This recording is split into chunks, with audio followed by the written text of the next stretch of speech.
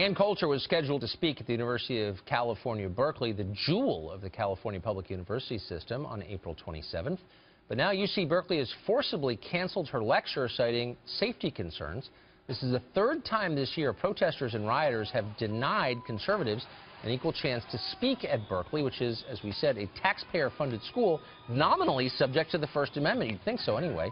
Apparently, though, hecklers and rioters get a veto there as long as they are left of center. Ann Coulter joins us tonight. And I'm a student of Orwellian language, so this jumped right out at me. This is a statement from Berkeley to students that I'm quoting. We regret this outcome, the outcome being your speech being canceled, especially given our unqualified support for our students' right to bring speakers of their choosing to the university and our deep commitments to the values and principles embedded in the First Amendment. It's the opposite of that, actually, isn't it? Well, yes, it is. And by the way, I am giving the speech. Um, I don't know. What are they going to do? Arrest me? Um, they can put me in the in the Birmingham jail. Uh, but no, I'm definitely giving the speech. I was invited to give a speech, um, and they went through what what college.